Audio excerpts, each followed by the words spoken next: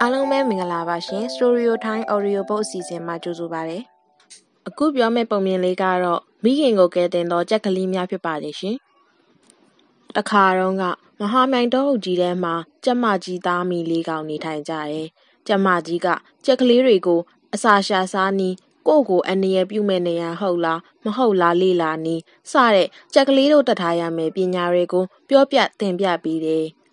ကဲတားလေးတို့အမေပြောတာတွေကိုမှတ်မိပြီနော်ဟုတ်ကဲ့ပါအမေတနေ့တော့ကြက်ကလေးတွေနဲ့ကျမအမေကြီးဟာသူနေတဲ့နေရာနဲ့မနီးမဝေးမှာအစာကောက်စားနေတယ်အဲ့ဒီအချိန်မှာကျမကြီးကိုစားဖို့ချောင်းနေတဲ့မြေခွေးတစ်ကောင်ကရောက်လာပြီးကျမကြီးကိုကြိုက်ဆွဲသွားပါရောအမလီလောက်ကြပါအောင်အမေကိုမြေခွေးဆွဲသွားပြီမိခင်ကျမကြီးရဲ့အော်တန်ကြတာနဲ့ကြက်ကလေးသုံးကောင်လဲ ကျမကြီးကိုကတ်တင်မယ်ဆိုပြီးအပြေးလွှားလိုက်သွားကြတယ်ကြက်ကလေးသုံးကောင်ဟာတစ်ပင်တပင်ရဲ့ခြင်ရင်းကိုရောက်တော့တစ်ပင်ပေါ်မှာရှိနေတဲ့တစ်တောက်ငှက်တစ်ကောင်ကဟေးကြက်ကလေးတွေမင်းတို့ဘယ်သွားကြမလို့လဲမင်းတို့အမေရောမပါဘူးလားလို့လှမ်းမိလိုက်တယ်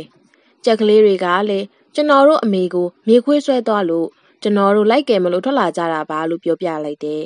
ရိုင်းမင်းကူညီခြင်းစိတ်တက်ရှိတဲ့တောက်ငှက်ကလေးကကြက်ကလေးတွေကိုကြည့်ရင် အဲ့ဒီမြေခွေးဟာတော်တော်ရုံမာပါလားငါလဲမင်းတို့နဲ့လိုက်ခဲ့ပြီးမင်းတို့အမေကိုဝိုင်းကယ်ပေးမယ်ကြားလားကျေးဇူးပါပဲကိုကြီးတတောက်ငှက်ရဲ့တတောက်ငှက်ရဲ့ချွန်ထက်လာတဲ့နှုတ်သီးဟာမိခင်ကျမကြီးကိုကယ်တင်ဖို့အတော်ထမြက်တဲ့လက်နက်တစ်ခုဖြစ်မှာပဲလို့ကြက်ကလေးတွေကတွေးလိုက်ကြတယ်အကူအညီတယောက်တိုးလာလို့ကြက်ကလေးသုံးကောင်လဲအားတက်လာကြတာပေါ့ဒီလိုနဲ့ကြက်ကလေးသုံးကောင်နဲ့တတောက်ငှက်ဟာခရီးချမ်းနှင်လာခဲ့ကြတယ်လမ်းတစ်ခုရောက်တော့ကနန်းတစ်ကောင်နဲ့တွေ့တယ် ကနန်းကဟဲ့ကြက်ကလေးတွေဘယ်သွားကြမလို့လဲမင်းတို့အမေရောမပါဘူးလားလို့လှမ်းမိလိုက်တယ်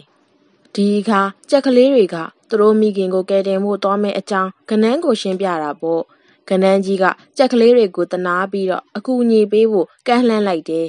ကြက်ကလေးတွေမင်းတို့အမေကိုကယ်တင်တဲ့နေရာမှာငါလည်းတအားတရွေဝိုင်းကူမယ်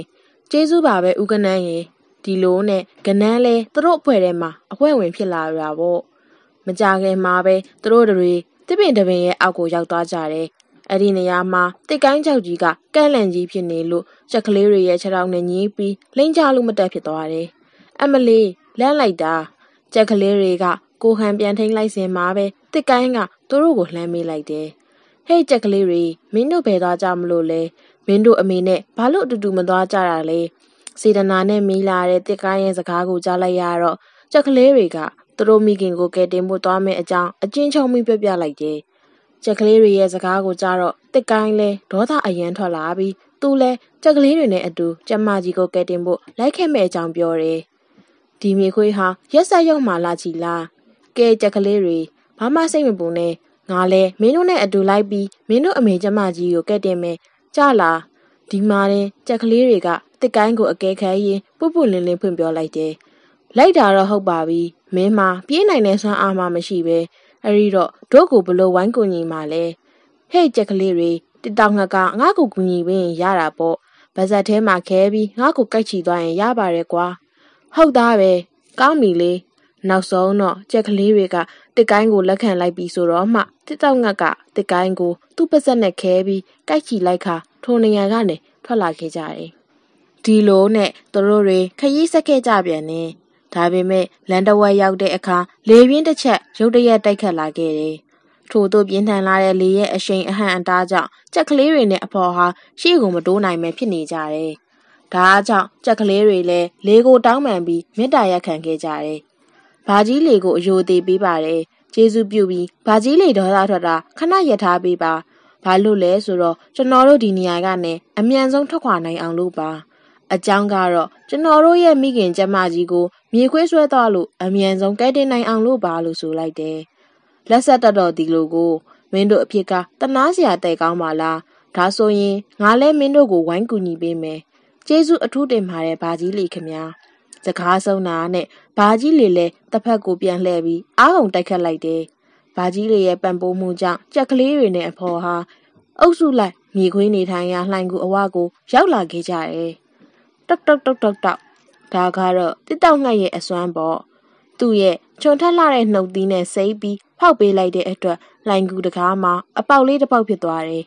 အပေါက်ထဲကနေဘာကြီးလီနဲ့ကနန်းတို့ကလျှို့ဝင်သွားကြတယ်။ရုံးမှလာတဲ့မြေခွေးကိုတိုက်ခိုက်ဖို့ကြက်ကလေးတွေနဲ့တစ်ကိုင်းတို့ကလိုင်ကူပေါဝါနာမှာအသင့်အနေအထားနဲ့ပြင်ဆင်ပြီးစောင့်နေကြတယ်။ခဏအကြာမှာကနန်းကဂူထဲမှာရှိနေတဲ့စင်အိုးထဲကိုသွားပြီးတက်လာခဲ့တယ်။ ဘာကြီးလီကလည်းမိဖို့ပြီးမှသွားပြီးအသင့်ဆောင်ဆိုင်နေတယ်။အဲ့ဒီအချိန်မှာမြေခွေးကတော့ကြက်မကြီးကိုတတ်စားဖို့ပြင်းနေတာပေါ့။อืมဟော်ရီကျမကြီးကိုဒဲအိုးရဲထက်မီးမွှေးပြီးချက်စားလိုက်ရင်တိတ်ကောင်းပါပဲရုံမာတဲ့မြေခွေးဟာဒဲအိုးရဲထက်ဖို့စင်အိုးရဲကရေကိုခတ်ရန်အိုးရဲကိုလက်နှိုက်လိုက်တယ်အဲ့ဒီအချိန်မှာပဲအမလေးလောက်ကြပါအောင် မြေခွေးဟာစင်အိုးရဲကရေကိုခတ်ဖို့လက်လျိုဝင်လိုက်တာနဲ့အသင်းဆောက်ဆိုင်နေတဲ့ခနန်းကသူ့ရဲ့လက်မနဲ့ညှက်ထလိုက်တာနာကျင်သွားတဲ့မြေခွေးလဲစူးစူးဝဝထအော်လိုက်တာပေါ့အမလေးလေနာလိုက်တာနာလိုက်တာမြေခွေးဟာနာကျင်လွန်းလို့လက်ကိုခါနေရကမီးမွေးဖို့အသင့်ပြင်မြန်နေဒီရင်ဒေါသထွက်နေတဲ့ဘာကြီးလီကမီးဖိုတွေကပြားတွေကိုအားကုန်မှုတ်ထုတ်လိုက်တယ်အမလီပြေးမှဖြစ်တော့မယ် မြေခွေးဟာထိတ်ထိတ်ပြပြဖြစ်ရင်တကားဝါကိုတချိုးတဲ့ထွက်ပြေးလာခဲ့တယ်မျက်လုံးနဲ့ပြာရီဝင်သွားလို့မမြင်မကန်းနဲ့တကားဝကိုထွက်ပြေးလာတဲ့မြေခွေးဟာအသင်းဆောက်နေတဲ့တစ်ကိုင်းနဲ့တိုက်မိပြီးလဲကျသွားပါရောရုပ်မာလာတဲ့မြေခွေးတေပီတော်လို့ဆိုပြီးအနားမှာစောင့်နေကြတဲ့ကြက်ကလေးတွေနဲ့တက်တော့ငှက်တို့ကဝိုင်းအောင်လာပြီးရက်ဆက်ယုံမှလာတဲ့မြေခွေးရဲ့မျက်လုံးကိုဝိုင်းဝန်းထိုးစိတ်ကြတယ်။အမလေးဗျာကဲကြပါဦး။ နောက်ဆုံးမှမြေခွေးလဲတကိုယ်လုံးဒဏ်ရဒဏ်ချက်တွေရပြီးထပ်ပြေးသွားတော့တာပဲ။ကျေးဇူးအထူးတင်ပါတယ်ဗာကြီးလေးနဲ့အကိုကြီးတတောက်ငံဦးခနန်းကြီးတို့ရဲ့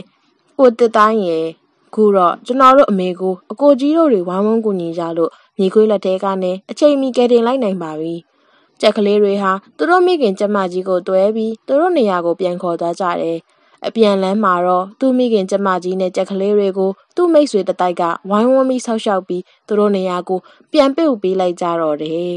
။ပုံမြင်လေးကတော့ဒီနေရာမှာပဲပြီးဆုံးသွားပါပြီရှင်။နားဆင်ပေးကြတဲ့ပရိသတ်များအားလုံးမင်္ဂလာရှိသောနေ့ရက်များကိုပိုင်ဆိုင်နိုင်ကြပါစေရှင်။